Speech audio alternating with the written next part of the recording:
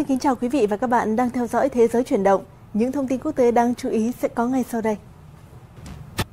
Thưa quý vị, phát biểu tại cuộc họp của Hội đồng Bảo an Liên Hợp Quốc ngày 23 tháng 2, đại diện thường trực của Nga tại Liên Hợp Quốc đã nêu điều kiện hòa bình sau 2 năm xung đột ở Ukraine. Ngày 23 tháng 2, thì hàng chục nghìn người biểu tình khắp Argentina yêu cầu chính phủ trợ cấp lương thực cho người nghèo khi lạm phát nước này đã tăng 254%.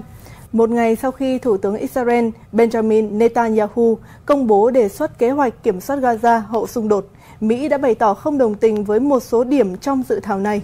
Thưa quý vị, à, cũng liên quan tới tình hình chiến sự tại giải Gaza, trước hàng loạt cuộc bắn phá không ngừng nghỉ của Israel, người Palestine đang phải đối mặt với tình trạng không thức ăn, không nước uống, không điện ngày càng trầm trọng hơn.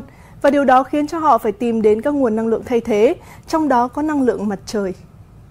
Giá trị vốn hóa của Nvidia đã vượt 2.000 tỷ đô la Mỹ hay Trung Quốc chào đón lễ hội rước đèn lồng. Thông tin chi tiết sẽ có trong cụm tin vắn ngay sau đây. Mời quý vị cùng theo dõi.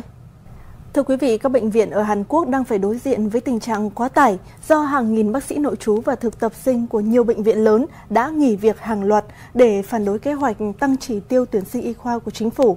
Trước tình trạng này, chính phủ Hàn Quốc đã chỉ đạo nhiều biện pháp để đối phó.